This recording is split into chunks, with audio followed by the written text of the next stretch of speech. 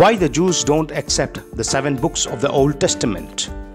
Because uh, these books were written after the Babylonian captivity.